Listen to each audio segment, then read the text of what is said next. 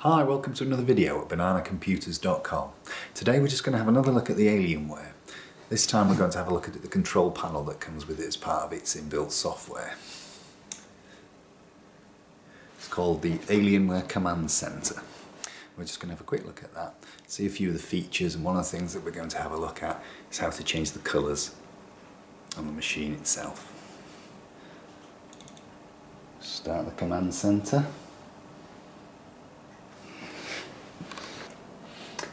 And here we are.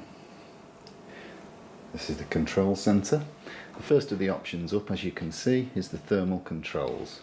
It gives you the status and some manageability on your profiles for all the thermal controls. As you can see, front ambient, HD, for the ones that you might be interested in, GPU and CPU and so forth. Got the top fan, PCI fan listed there. Next one along is Alien FX. This allows you to customize the colouring around the, around the system itself and as you can see there are multiple illuminated spots on the system on the actual chassis and you can change these by just selecting the corresponding number changing the colour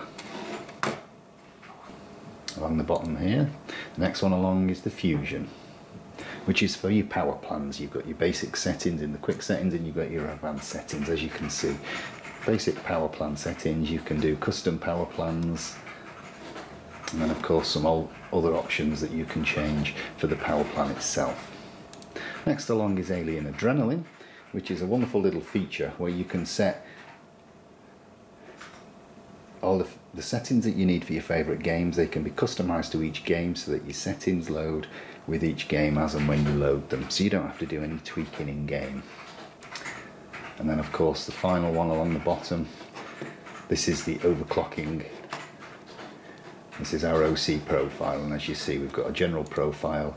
We've got the ability to manipulate the CPU and the RAM of course